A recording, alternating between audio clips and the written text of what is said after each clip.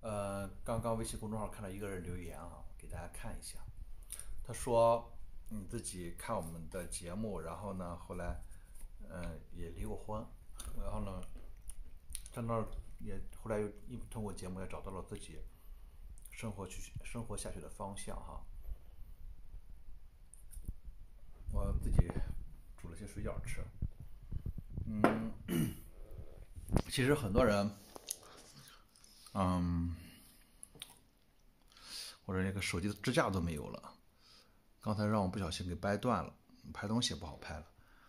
其实，其实，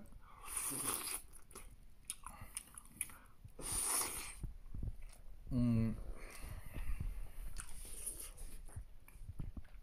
嗯，这样还挺好吃的，就说。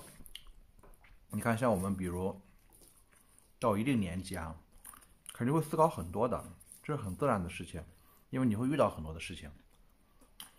嗯，我那天、昨天还是前天，我跟秋迪讲说，我说，嗯，在我眼里啊，其实人生就分成五个阶段。第一个阶段呢，就是叫逃避问题。那时候我们都很年轻，甚至很小。大部分呢，会有一种逃避问题的心态。后来呢，慢慢的，主要的心态就变成了解决问题。我们去上学、去工作、啊，去干什么事情。再后来呢，第三阶段是什么呢？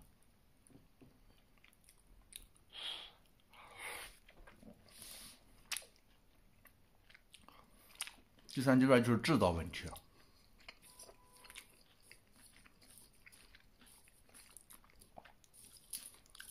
大家能理解吗？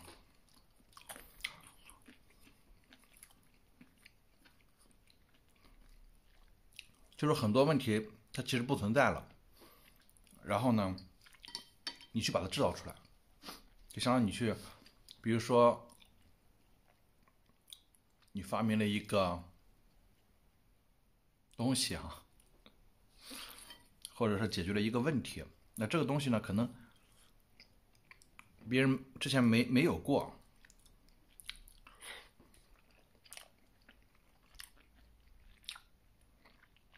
没有想过，就知道问题了。第四阶段呢，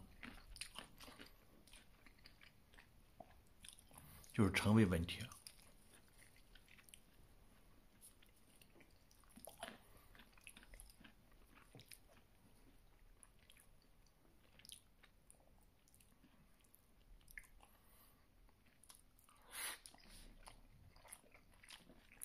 大家吃饺子加不加蒜？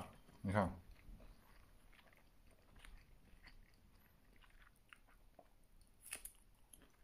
我还现在我自己在这边待着，然后，吃蒜也不怕被别人说了，